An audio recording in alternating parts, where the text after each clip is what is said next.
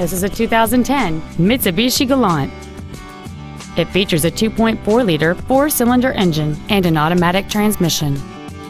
Its top features include solar control glass, cruise control, a rear window defroster, a CD player, a multi-link rear suspension, aluminum wheels, a security system, a low tire pressure indicator, keyless entry, and this vehicle has fewer than 42,000 miles on the odometer.